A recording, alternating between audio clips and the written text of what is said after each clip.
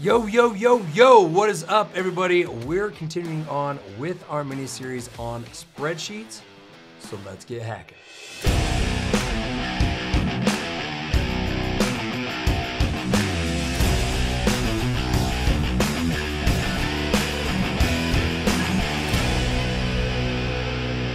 Welcome back to Wood Hacks. I'm James with Microvellum, and this is part two of our mini series on spreadsheets. In this episode, we'll go over some of the tools, icons, and shortcut menus to help you better understand what is available to you.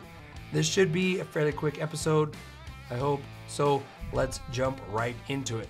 Okay, so here we are in the spreadsheet again, or edit design data, and I want to start by going over the icons at the top of the interface so you have a better idea of what they are, what they do, and when you might need to use them. Starting from left to right, we've got save, cut, copy, and paste. Everyone should be pretty familiar with these, so I'm not gonna waste any more time talking about them. After that, we've got the insert function button. This will open the function arguments window. You can use this to help you write and read formulas.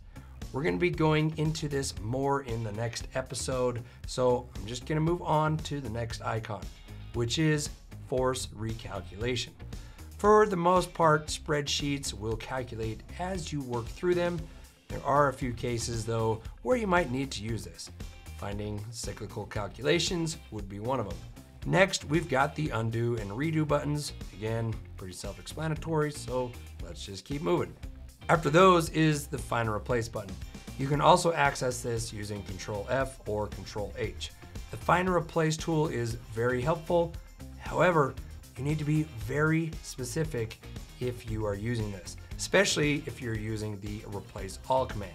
For example, if you're searching for a text string, let's say you want to replace the with that.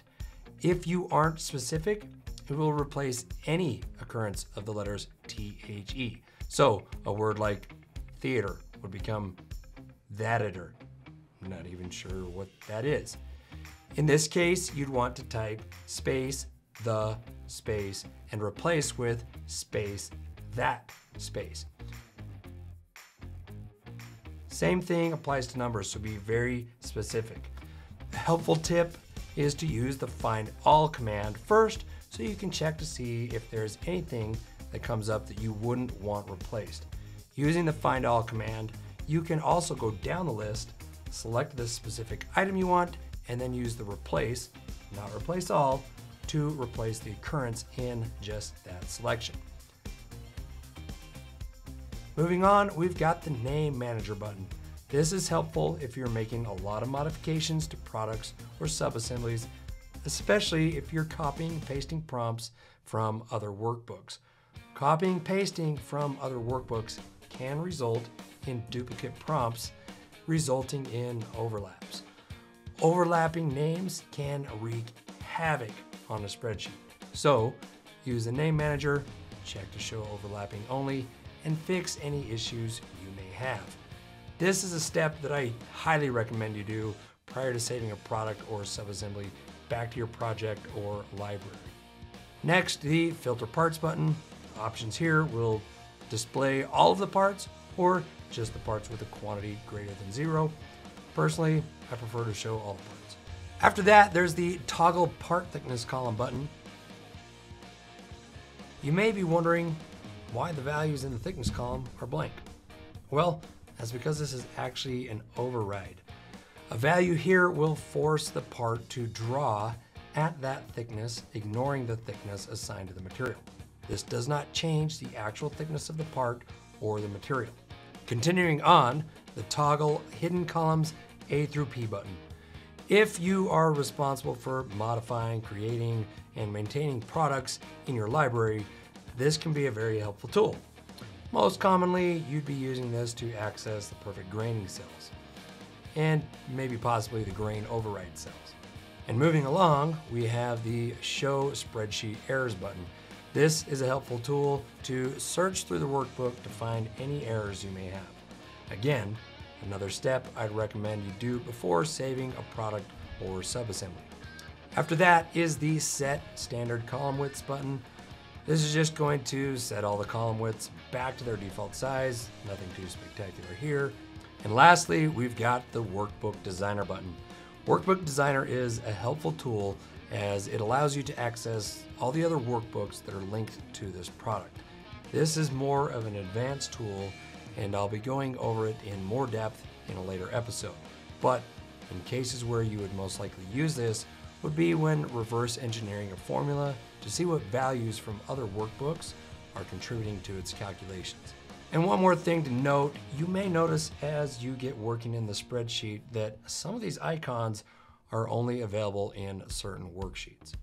All right, with the shortcut menus, accessible by right-clicking in a cell, depending on the cell you select and the worksheet you are working in, will bring up different tools. Many of these, again, are pretty self-explanatory, but some of the cooler tools available would be Paste Special, which allows you to paste certain aspects of a copied cell, and the Microvellum Clipboard. Depending on which workbook you're working in, you can add parts, machine tokens, hardware, subassemblies, or prompts. This is a very helpful tool if you have something common or custom that may not exist in all the products that you want to be able to add quickly with all its parameters. In the Cut Parts tab, if you select a cell in the material or edge banding columns, you can use the change material or change edge banding functions to open the material file and manually select the material or material pointer. When accessing the shortcut menu in the Prompts tab, the most used commands will be insert prompt, delete prompt, and define name. Define name will only appear if you are in the value column. One thing to note with the insert and delete prompt commands are that they will only add or delete the cells associated to the prompt. Using insert row or delete row will affect everything that might be contained in that row. Drawing tokens, virtual machine routes, and so forth. So if you're not careful, you could delete a whole bunch of information. While we're talking about inserting and deleting prompts, one thing that is important to understand is that width, height, and depth must remain as the top three rows. Inserting prompts above, in between, or deleting these will cause problems. Don't cause problems. If you don't want these visible for whatever reason, use a 6 in the control type column or a 1 in the hide prompt column. All right, there you have it. Some of the spreadsheet tools at your disposal. Remember, power users are made in the spreadsheet. It is my goal to help you become a power user and take your Microvellum journey to the next level. So, get yourself familiar with these tools so you can start progressing. Also, stay tuned for the next episode where we'll break down the formula editor and function arguments tools. And as usual, stay sharp stay focused, and stay awesome. And I'll see you in the next Wood Hacks.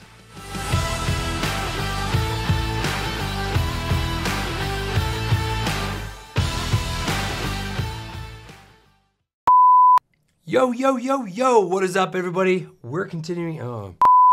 Yo, yo, yo, yo, what is up, everybody? We're continuing on. Yo. Yo, yo, yo, yo, what is up, everybody? We're.